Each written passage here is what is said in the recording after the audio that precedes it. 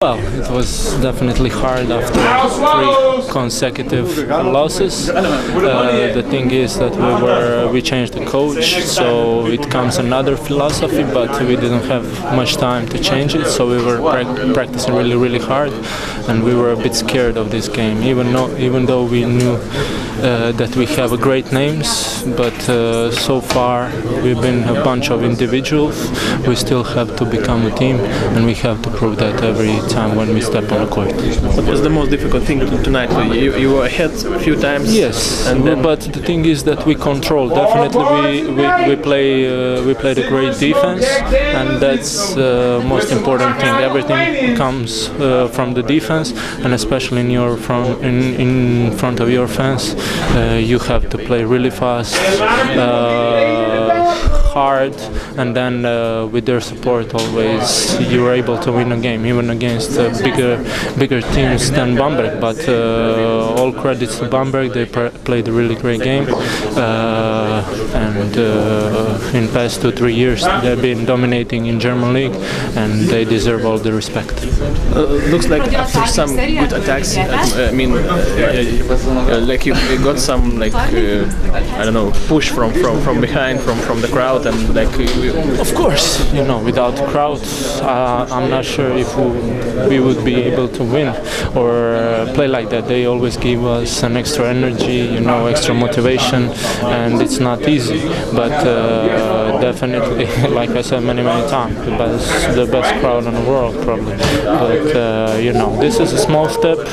We counted on this win, but we had to prove it. We did it. We got to forget, work hard now uh, until Zagreb, and then uh, try to win that game and uh, be 2-3 because uh, we had really two tough games against Panathinaikos away and opening game against CSKA, uh, against the teams uh, which you cannot count really easy to win. But we go step by step.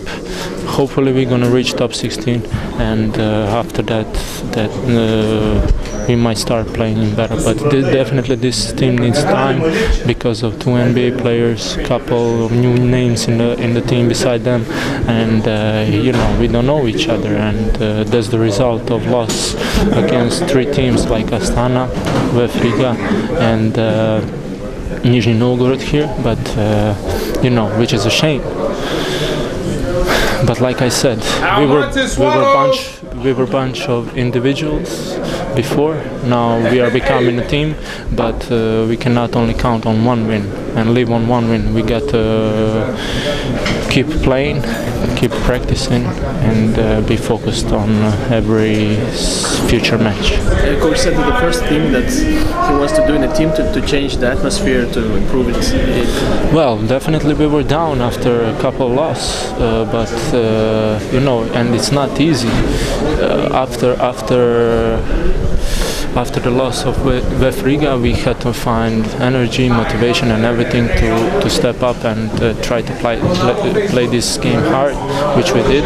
And uh, I'm really really happy for myself, my teammates, coaches, because it wasn't easy. We, you know, on psychological plan.